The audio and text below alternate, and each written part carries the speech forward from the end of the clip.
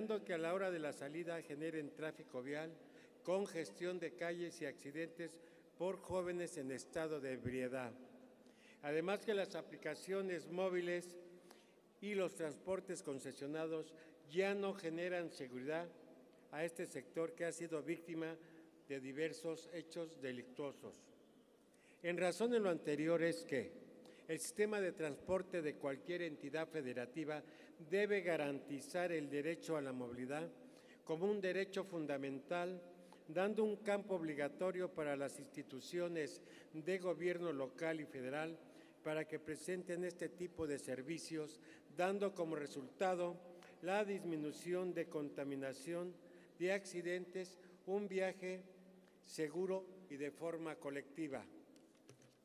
Es por ello que esta proposición tiene como objeto dar cumplimiento al derecho a la movilidad, generando que las personas accedan de otros derechos como al trabajo, al deporte, a la salud, al desarrollo sustentable, al tiempo libre, por supuesto a la educación, mismo que son indispensables para el cumplimiento de un sano desarrollo de la persona y la dignidad de éstas.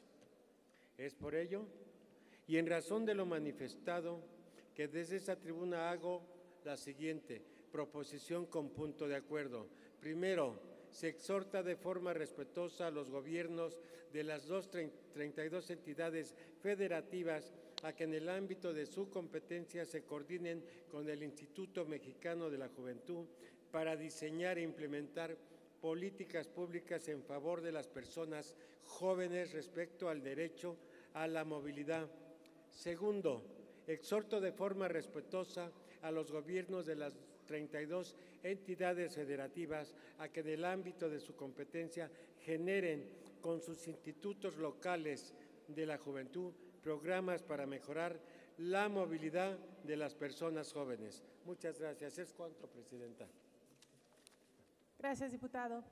En términos de lo dispuesto por el artículo 101 del Reglamento del Congreso de la Ciudad de México, consulta la Secretaría al Pleno en votación económica si la proposición presentada por el diputado Miguel Ángel Macedo Escartín se considera de urgente y obvia resolución.